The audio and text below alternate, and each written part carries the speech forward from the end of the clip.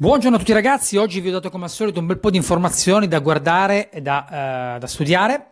Eh, che cosa si evince da tutte queste informazioni? Che quello che abbiamo analizzato eh, piano piano si sta eh, costruendo, cioè i settori che hanno corso di più stanno prendendo fiato, mi riferisco principalmente al settore tech, al settore Nvidia, eccetera, eccetera, quindi semiconduttori, mentre stanno spingendo con maggiore forza il tema delle eh, materie prime. Quindi abbiamo un oil eh, molto forte e nella giornata di ieri anche il rame ha spinto esattamente in concomitanza con la ripartenza della, eh, della Cina che sta continuando a macinare, sta continuando a crescere con forza. Quindi la, lo scenario più probabile e di maggiore forza in questo momento è una ripresa di forza del, del, mercato, del, mercato, cinese e quindi relativo indice che ha sottoperformato in maniera importante. Qua ci potrebbero essere delle accelerazioni importanti perché nel momento in cui cominciavano a farsi delle performance, tenuto conto che la maggior parte dei fondi è scarico eh, di Cina, potrebbe esserci una, una corsa veloce alle ricoperture per evitare di rimanere fuori dal benchmark di eh, riferimento. Quindi se la Cina dovesse continuare più continua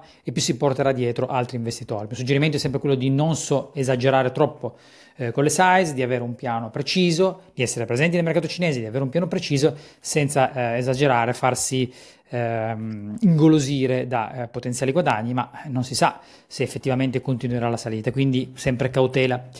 Dall'altra parte, ripeto, la salita delle materie prime sta facendo bene alle basic reserves eh, in generale e sta facendo rifiatare altri, altri, settori. Per quello che concerne il, ehm, il tema del, del, debito, un giorno si sale, un giorno si scende, eh, sta di fatto che eh, invece il mercato dei bond rimane più o meno in laterale, qualche giorno sale di rendimento, qualche giorno scende, però come vi dicevo ieri non si notano delle, degli scostamenti importanti. Quindi dal punto di vista di scenario è probabile che il prossimo trimestre, ricordo che questo venerdì è un venerdì molto importante di scadenze tecniche,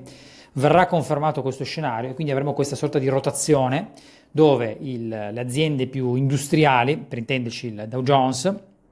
salirà di più rispetto al settore tech, di cui non mi aspetto dei crolli, ma mi aspetto diciamo, una sorta di fase di eh, lateralità. Eh, quindi fondamentalmente quelli che sono rimasti indietro cercheranno di avvicinarsi a quelli che hanno corso, corso di più. Però sotto, sotto tutta questa, questa, questa dinamica eh, c'è uno scenario che è uno scenario preoccupante, eh, che non avverrà secondo me oggi, ma avverrà nei prossimi 3-6 mesi, questo i tempi esatti non li posso sapere,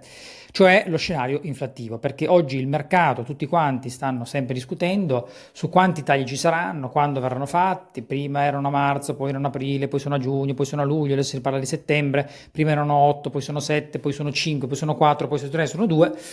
la mia sensazione è, vedendo semplicemente i numeri, è che oggi abbiamo un'inflazione stabile, quindi questi sono i valori e non scende da questi valori, ma abbiamo un aggravante, l'aggravante che con la partenza della Cina le materie prime stanno salendo, ricordo che quest'anno il petrolio eh, sta già facendo più 12-13 punti percentuali e a mio avviso ha rotto delle resistenze, quindi è probabile che ne faccia 15-20 aggiuntivi a quelli attuali. Se a questi ci andiamo a sommare la, la salita di tutte le altre materie prime, tra cui anche quelle agricole che quindi vanno a incidere anche sul food, a mio avviso ci troveremo a un certo punto in cui quando questi eh, aumenti di prezzi verranno trasmessi all'economia, cominceremo ad avere dei dati inflattivi a sorpresa in crescita. Quindi mentre il mercato si è preparato ad uno scenario di taglio di tassi, quindi investitori con poche scadenze lunghe, tutti pronti al ritaglio dei tassi, a un certo punto la domanda da porsi oggi è se invece di scendere l'inflazione o di rimanere statica comincia a salire da 3, passa a 4, passa a 5, passa a 6 punti percentuali, la domanda è che cosa faranno le banche centrali? Ecco, questa è una domanda molto importante da porsi oggi, ma soprattutto che cosa faranno i mercati? Dal mio punto di vista questo sarà il, lo scenario che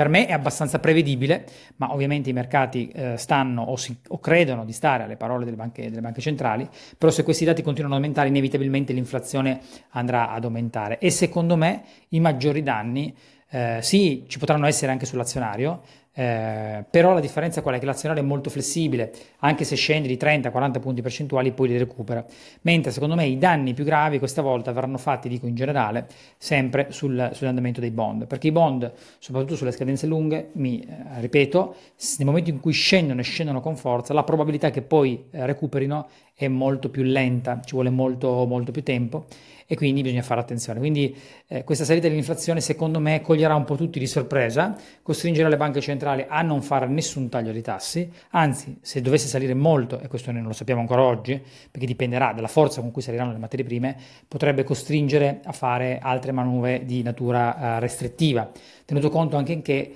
ehm, leggevo un articolo sulla Banca Centrale Europea eh, che diceva che loro non reinvestiranno eh, il PEP e che dovranno temporeggiare perché comunque i bilanci delle banche centrali fanno parecchio schifo e quindi devono fare anche attenzione loro a pompare denaro. Siccome comunque sono delle società private, a questi privati non fa tanto piacere eh, de perdere denaro. L'abbiamo visto con la Banca Centrale Svizzera che ha fatto per il secondo anno dei bilanci in rosso, l'abbiamo visto con la, la, la, la Banca Centrale Europea, l'abbiamo visto con la Banca Centrale Americana, quindi è vero che le banche centrali possono pompare denaro, però ricordo a tutti che le banche centrali sono partecipate da soggetti privati e i soggetti privati non vogliono perdere denaro, mentre con queste manovre che sono state fatte di acquisti indiscriminati di bond e poi i rendimenti sono saliti, hanno perso un fracasso di soldi. E, e quindi prima di ritornare a comprare sul mercato eh, ci penseranno attentamente, cercheranno di mh, fare in modo che i bond vadano avanti, vadano sempre più a scadenza, di modo che loro possano andare a recuperare le loro, le loro perdite. Quindi non è oggi, ma fra 3-6 mesi, a mio avviso, la probabilità di rivedere un'inflazione in salita e anche in forte salita, soprattutto se le materie prime saliranno come sembra con decisione, sarà molto molto elevata. Mentre da qua ai prossimi mesi ci aspetterà semplicemente una bellissima rotazione settoriale, quindi vi ho indicato, ci sono tanti settori che secondo me possono fare molto bene, di alcuni per esempio nel settore oil vi ho indicato l'ETF, ma vi ho dato anche qualche idea di qualche titolo e, e questo sarà un po', un po', il tema che ci, che ci accompagnerà con sale e scendi, ma da prediligere il settore industriale rispetto al settore tech.